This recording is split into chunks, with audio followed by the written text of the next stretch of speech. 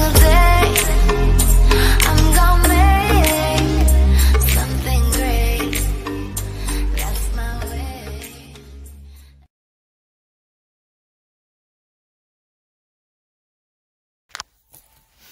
Hey gypsies, welcome back to my channel.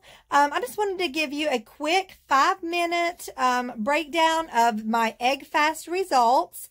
Very happy with them. Um, they, they were not as much as my first egg fast. Um, September 23rd, I believe, was when we started the first egg fast.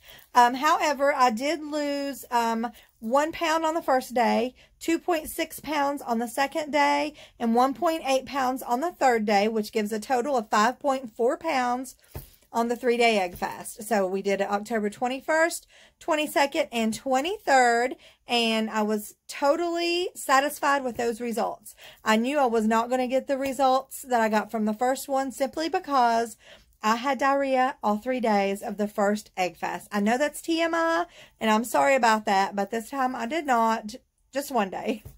So anyway, um, 5.4 pounds. Totally happy with that.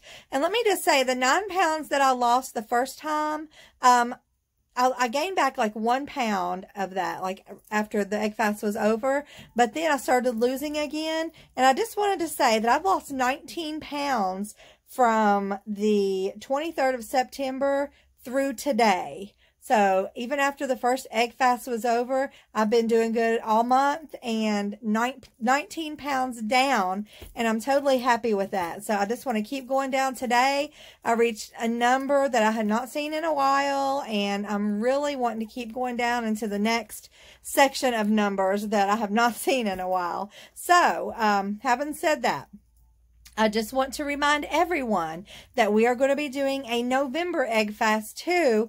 And um, I have the days, but I forgot to write them down. But um, I'll definitely be coming back out with another video reminding you of that and just trying to see who all wants to be involved with it. I'm going to link the channels down below of everyone that are YouTubers that are um, in it.